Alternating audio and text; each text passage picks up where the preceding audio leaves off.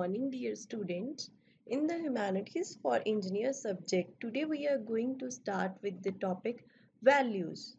Before starting up the deep theories and learnings of the value, I would like to answer the one very basic question that comes into your mind, why you need to study the values?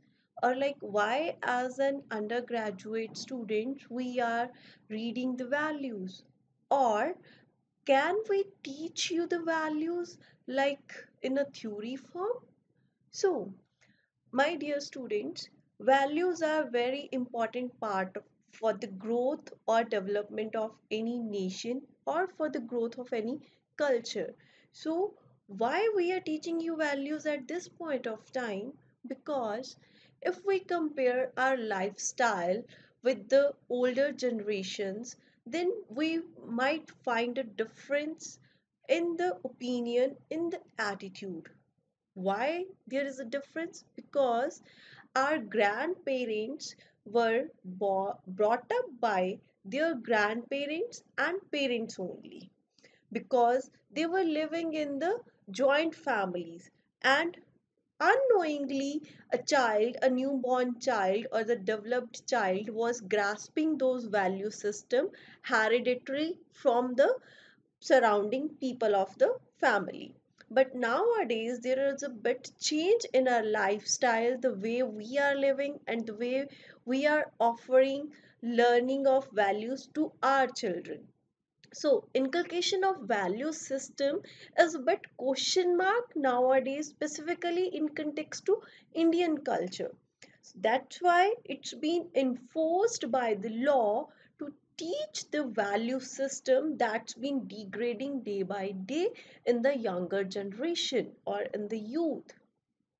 So here comes the reason for teaching you the values. So that in the future you will be joining corporate houses or business organizations after graduating from the university. But to maintain the balance between your professional and personal life so that you can achieve your long life goals by following morals and ethical principles values plays a very important role. Like initially uh, when the child uh, uh, take birth in the family uh, the child is taken care by the family uh, friends or the family people. But nowadays we call it a house help. We hire few people around us to take care the child. And when mother and father both are working the child is being taken care by the house help being offered or hired by the parents or they are dropped at the play areas. So majority of the brain of development of the brain of a child take place before the age of 5 years. And that is the time when child is spending more of the time with the people he or she meets in the play schools or with the person whom he or she is indulging as a house help like maids or the babysitters. So they are unknowingly adhering to the values that are incorporated in the behavior of those people. So they are not adopting the value system of that particular family so that's why the need of the hour is to change this system and we need to teach you values at this point of time so that you can maintain a balance between your personal and professional life by correlating your personal goals. What is the motivation behind that? How you can be accountable for social responsibility of the society how the brain drain can affect the future economies of your country. So you as in yourself is responsible for all these answers and questions. So that's why we are teaching you the values. The i think it's been clear why we are teaching you the values. And values are very much important. It the values were important are important and will be important in the future also.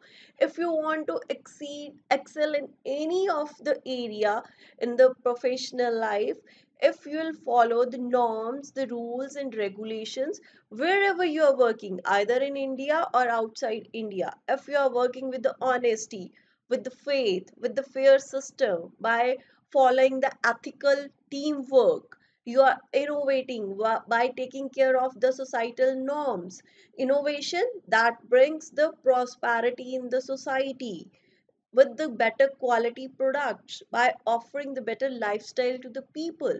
Then only will we can say that values are very much inherited in your work culture, in your professional life, in your personal life, and you will be accountable for consistency in your work and commitment in your work by following the proper value system.